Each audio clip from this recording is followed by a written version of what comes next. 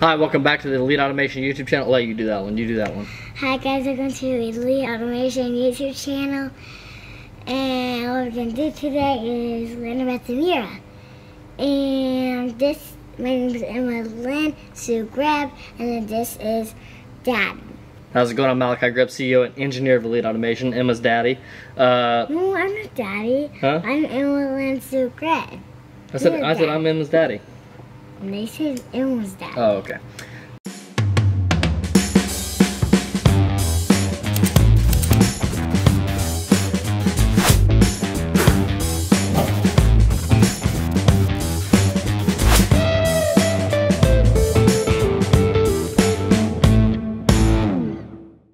Today we're going to show you guys uh, quickly how to go to different positions in your map. So after you've taught positions, maybe you want to go to that position. Let's go ahead and just show them how to do that real quick.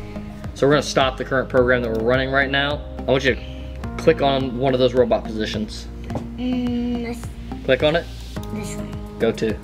Go to. Yep. Go to. Clear and queue. Top red one. All right. So now our robot is going to P4, position four. Pending. Oh, you gotta hit the play button. It's actually not going there yet. Hit the play button. Boop. Could you? All right. Now, now we're going to that uh, current position, or that commanded position, I should say. Go ahead and click into the position one more time. This? To the position. Well, yeah, you can click it onto a different position. It's fine. Okay, let's do this one. Okay. So uh, I just want to show you a couple things here real quick. I wasn't gonna have you go to. Click on the position itself again. Okay. Uh, well, the thing, a couple things that I want to show you guys is you can move the selected position, which if you, yeah, hover over it. So move selected position.